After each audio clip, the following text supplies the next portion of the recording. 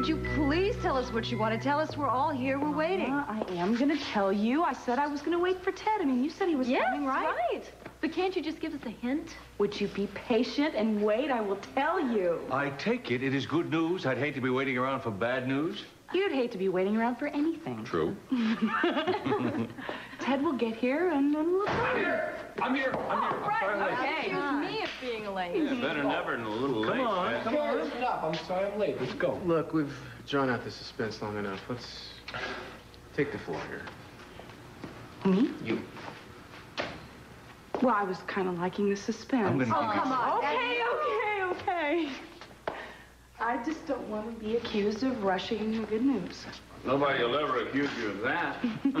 Okay. Well, this is something that we've been wanting for a really long time. And everybody else knows that we've been wanting it. And it finally happened. We're going to have a baby. Oh, baby. Oh, oh that's wonderful. Oh, that's wonderful. Oh, it's terrific. Come here, kid. Oh, thank you.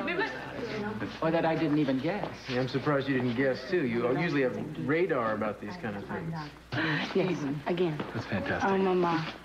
So, Congratulations. so what do you want, a boy or a girl? Oh, when did you find out? really Names? Have you picked A any boy. names? A boy or a girl? Would you hold on a second? She answered a I'm question. sorry, yeah, man. I gotta, gotta tell her. Five weeks. I'm five weeks pregnant.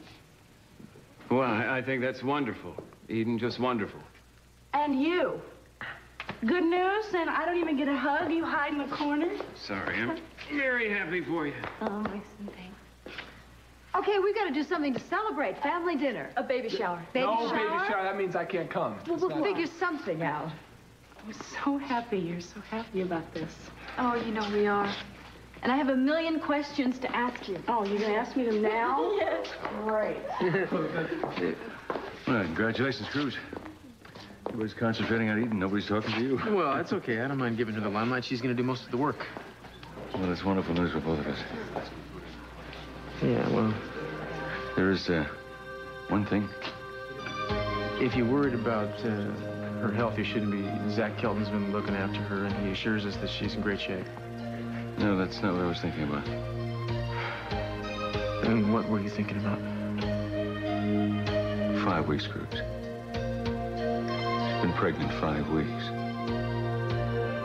That coincides with what happened